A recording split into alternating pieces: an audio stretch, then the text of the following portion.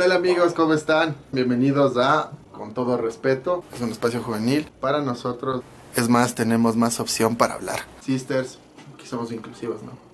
Hashtag por aborto. Camaradas. Dicho espacio sirve para la opinión estudiantil y también para informarnos qué pasa en los pormenores de la noticia. Comenzamos. Hoy hablaremos de varios temas, pero con una temática seguridad universitaria. ¿Cómo apreciamos los estudiantes a la seguridad universitaria? No aplica temas personales, por favor.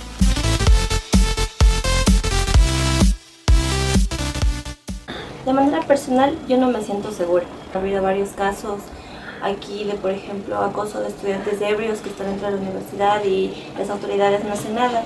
Según se hay como cuatro empresas de seguridad, sin embargo, no les he visto presentes en los momentos en los que se ha necesitado. También hay que mencionar, obviamente, que en el tiempo del paro y cuando aquí fue un centro de acopio, a título personal, muchas personas que pertenecen a la Guardia Universitaria sí estuvieron pendientes y nos ayudaron, ¿no? Pero creo que de manera ya como institucional eh, existen muchas falencias. El guardia se nos acercó y nos dijo, ¿qué están haciendo ahí? ¿Qué se ponen a hacer? Están fumando. Y lo que dijimos es que no, no estábamos fumando, no tenemos nada, pero si le molesta que ahí, nos fuimos. Y lo que puso a hacer el señor es que sí, abran las mochilas, nos forcejeó a que le demos la mochila y se puso a seguirnos. Nosotros ya prácticamente nos, nos encaminamos a ir a la, al puente de la universidad y el señor seguía atrás de nosotros. Le reclamamos por el acto de que primero no tiene por qué seguirnos porque eso es acoso. Otro guardia se acercó y nos dijo que qué pasó. Le dijimos que el guardia que estaba ahí, le dimos la característica del guardia, mi amiga le grabó al guardia y le dijimos lo que sucedió, lo que nos dijo y lo que empezó a seguirnos. A lo que este guardia nos dijo, nosotros como guardias no tenemos por qué estarles siguiendo y mucho menos pedirles que abran sus, sus mochilas ni rebuscar sus pertenencias. Eso no está en nuestro código, eso es prohibido, está incluso es penado. Usted no tiene derecho a requisarle las mochilas a ellos. Claro, no, no monten la de loco, Tampoco monten la de loco, o sea, por cómo se visten, les va a dejar afuera. Ya, pasa, por Son estudiantes, son estudiantes, amigo. de revisarnos la mochila, brother. Señorita. ¿Qué pasa? No puedo usar la fuerza, no puedo usar la fuerza. Señorita. Señor, me está utilizando la fuerza. No le estoy revisando. Ya, pasa, pase, favor. Eh, pasa, señor. Ey, ey. Déjame permiso, caballero. Déjame permiso. Aquí no se está haciendo nada. Esta es la Universidad Central. Y no por, por la puerta, dice, si estamos pidiendo de allá, brother. Pero no tienes el derecho a revisar los mochilas. Si es que vos nos ves bebiendo, si es que vos nos ves bebiendo, tienes el derecho de sacarnos de ese lugar ya, bacán. No nos puedes revisar solo porque alguien te dijo que tenemos alcohol, hermano. Pero ¿por qué se niega, caballero? Dígame. ¿Por qué no? Porque no tiene derecho usted a requisar a nadie. Te voy a estar dando mi mochila, Y aparte se pone prepotente, caballero. Nosotros estamos viniendo tranquilos de allá. Señor, usted no puede negarle el Tenga la bondad, caballero. Caballero, tenga la bondad. La mano, por favor. Tenga la bondad. ¿De qué, loco? ¿Qué pasa? Yo le estoy de la manera más comedida. Me están a mí pasando el dato.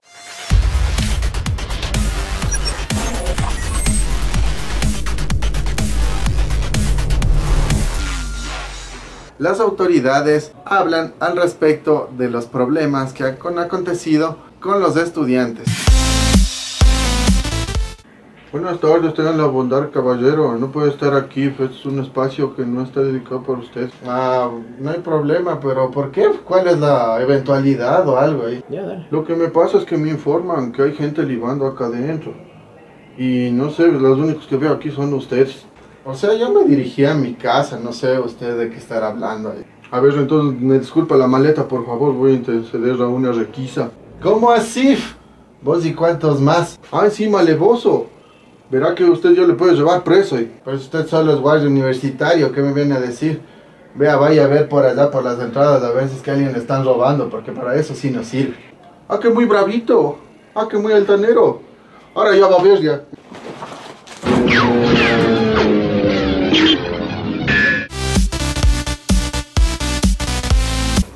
Gran problema que tenemos eh, al interior de, la institución y que es un problema grave es el consumo de licor. Es el consumo de licor por parte de los estudiantes y el consumo de sustancias eh, prohibidas sujetas a fiscalización.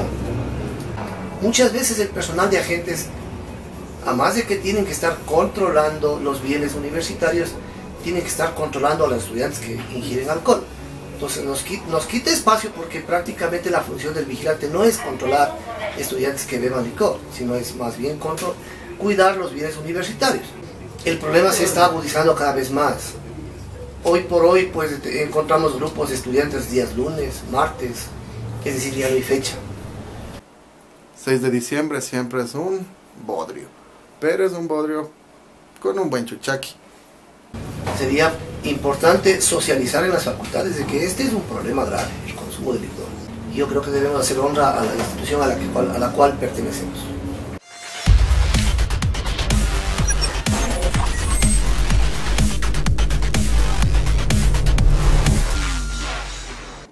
hay muchos problemas en los cuales no solo los guardias han tenido que ver, sino también nosotros como estudiantes.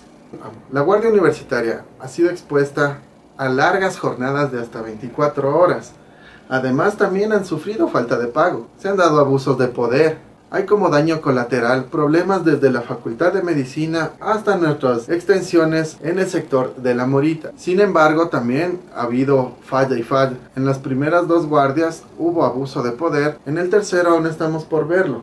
Eso hacemos hincapié para dar partida al tema número 3. Fiestas de Quito en las universidades. Lamentamos mucho la pérdida de algunas vidas, pero se tiene que hablar. Tenemos una entrevista a Natalie González les contaré que ella es de Dirección de Comunicación de la FEPON, la Federación de Estudiantes de la Escuela Politécnica Nacional. Nos cuenta de su gestión y también de los altercados que se dieron el día del Polifest. Escuchémosla.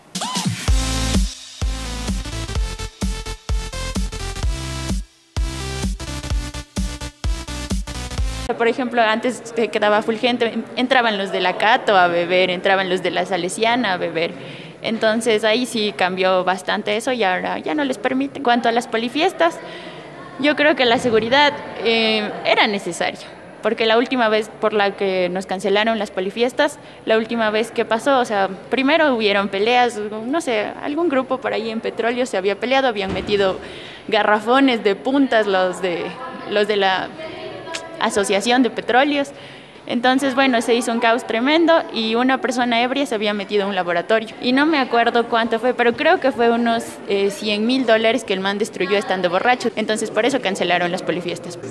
Lo mismo pasó en el, en el Polifest. Igual se metió la gente y ya solo faltaba, ya solo faltaba salir Mileto.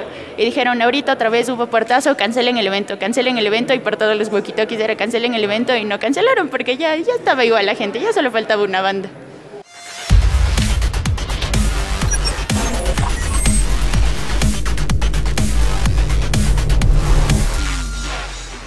Bueno, como podemos observar, la mayoría de errores también vienen de parte nuestra, no solo de la Guardia Universitaria. Agradecemos a todos ustedes por su colaboración y por escucharnos, por vernos. Esto ha sido con todo respeto. Por favor, no dejen de seguirnos en Facebook, en Twitter y en Instagram. Muchas gracias.